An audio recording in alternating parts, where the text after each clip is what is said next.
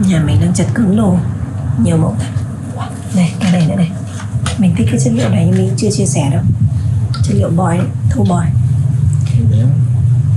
Chất liệu thô boy mình chưa kịp chia sẻ và mới lên xong mình thích lắm.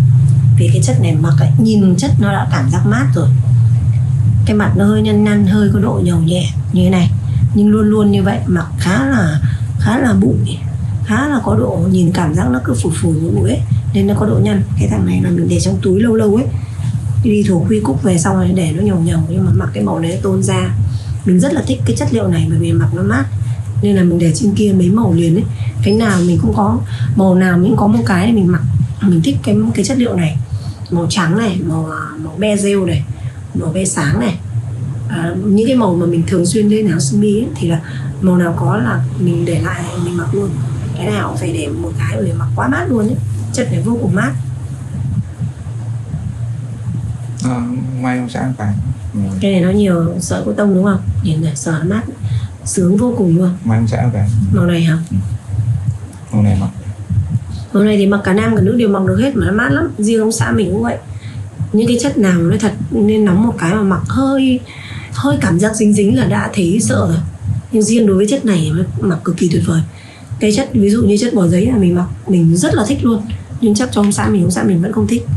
Bởi vì là hơi dày một cái chỉ hơi có độ cảm giác nóng được tí xíu thôi là nghiễm nhiên là nó nếu mà để nói mặc không có điều hòa thì thì uh, gần như chất nào mình cảm lợi chịu cũng khó chịu chứ không phải là không phải một dòng chất này. Nhưng phải nói là cái chất bò giấy là một cái chất thô boy là hai là hai cái chất mà mình cực kỳ thích. Thô boy này mặc mọi người cứ sợ phải là nhưng cái này, nó đâu có phải là đâu. Mình giặt tay, mình rũ là nó mặc được à? Mình mặc một cơ thể một lúc là nó cũng tương đối là nó duỗi ra, nó không nhầu nát lắm đâu. Mà nó chỉ kiểu như là hơi nhầu cái độ gấp gấp gấp nhăn nhăn nhăn như này, mình cứ thích cái độ phủ của nó thế. Nên mình mặc thâu boy, không bao giờ mình làm luôn.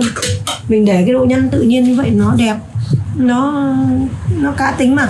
Nhìn nó khỏe, nó cá tính mà. Cho nên là mình cứ để thế mình mặc thôi, mình không bao giờ phải là tùy chất. Ví dụ như dòng mà tơ ấy cái dòng tơ mà bóng bóng ấy thì cái đấy không làm mặc rất là xấu.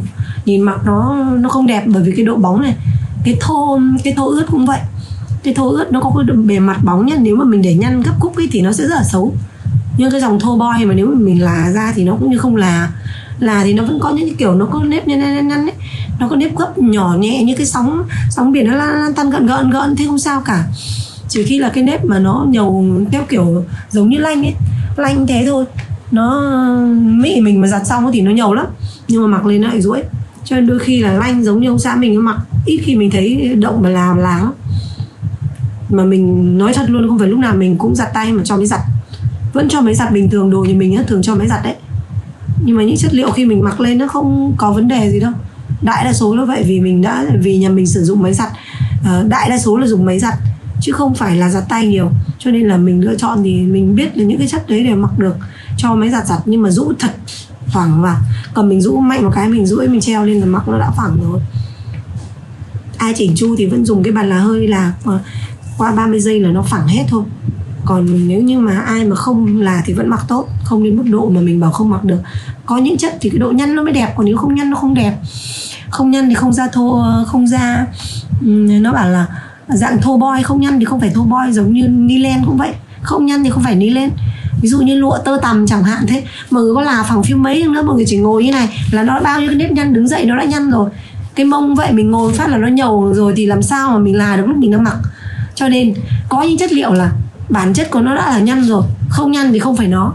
Cho nên mọi người mặc là mọi người sử dụng chất liệu mọi người sẽ phải có cái uh, cái xác định rõ ràng là mặc nó chắc chắn sẽ nhăn chứ đừng hỏi là chị ơi mát nhưng có nhầu không? Nói thật luôn đã mát thì chắc chắn sẽ nhầu nó sẽ có độ nhầu nhất định. Chứ còn những cái dạng mà nó không nhầu khẳng định là mặc không thoát mồ hôi. Thế đấy là sự thật luôn nhá. Chỉ là cảm giác trơn chu sờ vào thì thấy mát tay. Thế nhưng mà nó không mờ thoát được mồ hôi. Cho nên khi mặc ấy khi mà nóng ấy, sẽ cảm giác bí.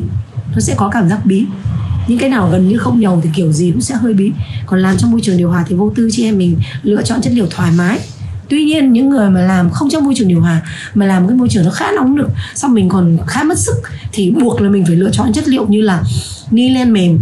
À, ni len có giãn là một này chất uh, thô boy là hai này chất lanh là ba này. Đấy là những cái chất mà vô cùng mát và thấm mồ hôi. Ờ, chất đũi nữa có cái đũi cốt tông đấy là những cái dòng chất thấm hút mồ hôi. Cho nên nếu như chị em mình thực sự mà phải chọn lựa theo đúng môi trường mình làm việc để đảm bảo là mình cảm giác dễ chịu nhất mát mẻ nhất thoải mái nhất thì tùy vào môi trường để lựa, lựa chọn chất liệu. Chị em công sở thì hoàn toàn thoải mái cho mình tung mình thích cái gì mình có thể mặc được. Thích cái form nào thì lựa chọn chất đấy.